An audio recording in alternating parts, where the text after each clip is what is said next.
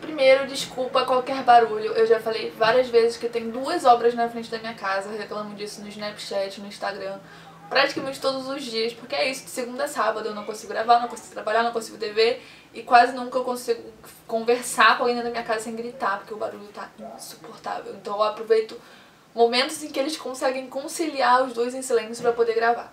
Hoje eu vou falar de franja. Recentemente eu fiz um vídeo dando algumas dicas pra pra deixar a franja sempre perfeita.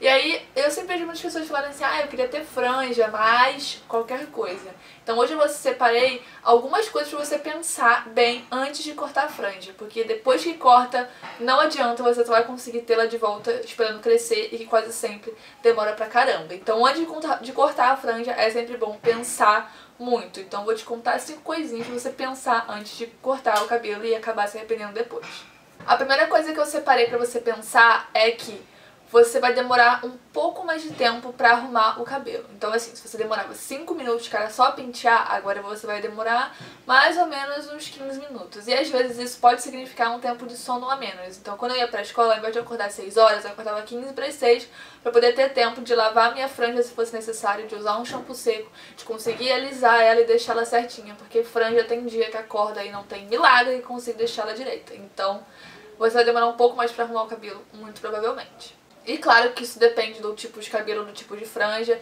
e do cuidado que você tem, mas comigo sempre foi assim, eu sempre demorava mais pra me arrumar por causa da franja. Dois, essa é uma coisa que me incomoda, porque muita gente fala assim, ah, eu queria tirar, eu queria cortar a franja, mas qual franja você acha que fica bom pra mim? E sério, eu acho que não tem o tipo de franja ideal pro seu tipo de rosto ou pro seu tipo de cabelo.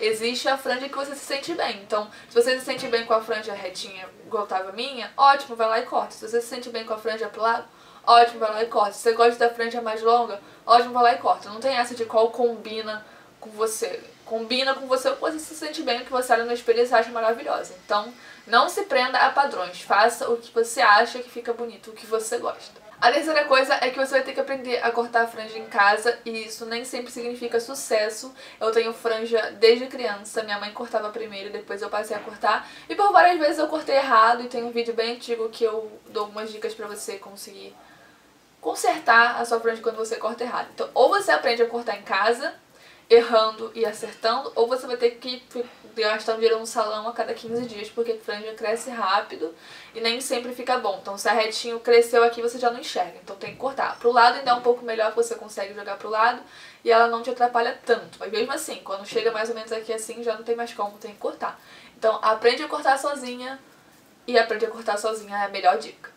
A quarta dica é que se você cortar a franja e se arrepender ou cansar depois de um tempo e quiser deixar ela o seu cabelo reto ou você quer aquele corte que a franja é mais ou menos aqui, se prepare porque dias difíceis vão vir. Então tem um meio termo da franja que fica o ó. Então acho que quando ela chega mais ou menos aqui no nariz, pra mim, quando eu, quando eu quis deixar ela grande, depois eu acabei cortando de novo, que era horrível, porque eu não conseguia deixar repartido ao meio, eu não conseguia usar lá pra frente, obviamente, porque tapava metade do meu rosto, eu não conseguia usar pro lado porque eu não enxergava. Então foi um momento muito difícil, quando você quer deixar a franja crescer igual lá com o cabelo, demora e é chato porque você não tem muito o que fazer. Você coloca pro lado, você não enxerga, você coloca pra frente, você não enxerga, aí você prende, aí você não gosta, fica com testão.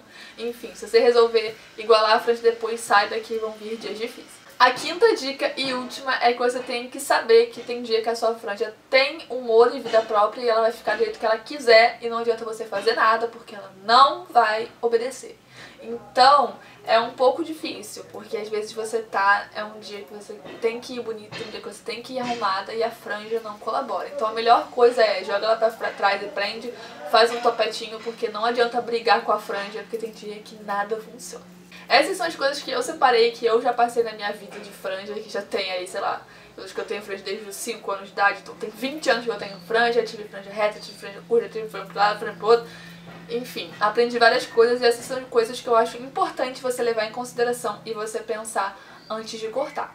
Se você já cortou franja ou se você não cortou, me conta aqui embaixo sua experiência, uma dica, um cuidado que você acha, uma coisa que você acha que a pessoa deve pensar, algum perrenguinho que você passou. Conta aqui nos comentários que eu sempre leio e respondo tudo. Não esquece de deixar o seu gostei aqui embaixo porque isso é muito importante. Se inscrever no canal se não é inscrito e me seguir também nas outras redes sociais. Então um beijo e até o próximo vídeo. Tchau!